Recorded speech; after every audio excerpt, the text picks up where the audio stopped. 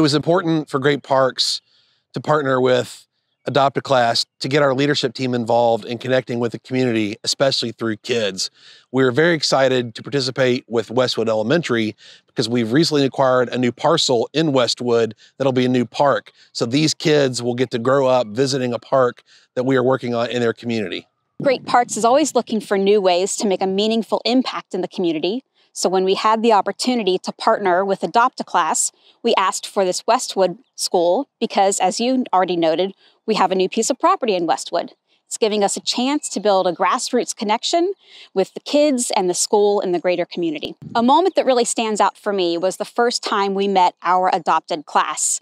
We had Stephanie Morris, one of our fantastic interpreters, bring one of our animal ambassadors, Curly, a black vulture to meet the class via Zoom.